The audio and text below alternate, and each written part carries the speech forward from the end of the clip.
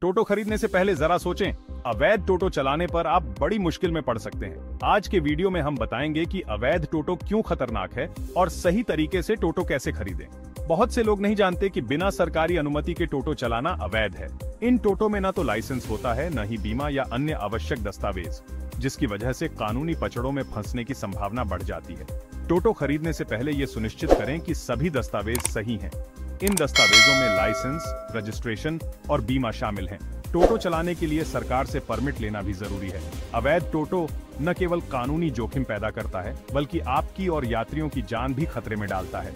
अक्सर अवैध टोटो में उचित रख रखाव नहीं होता, जिससे दुर्घटना की संभावना बढ़ जाती है। तो टोटो खरीदते समय कुछ बातों का ध्यान रखें। सरकार द्वारा मान्यता प्राप्त और वैध डीलर से ही टोटो खरीदें। खरीदने के समय सभी कागजात को अच्छे से चेक करें।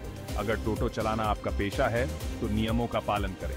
अवैध टोटो न केवल आपके रोज़गार को, बल्कि आपके जीवन को भी खतरे में डाल सकता है। इसलिए आज ही अपने टोटो को वैध बनाएँ। टोटो खरीदने से पहले सोचें और कानून का पालन करें।